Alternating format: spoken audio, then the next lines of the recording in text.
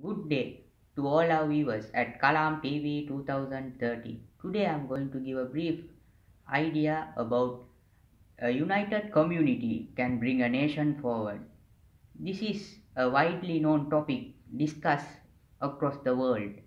We must uplift and have a good communication with our neighbors and community. We can develop a prosperous nation. There are many scientists who have gone under research with these circumstances. Further, a united community can bring a nation forward is a theme that is widely discussed across the world. We must always be together without any discrimination either in religion or caste.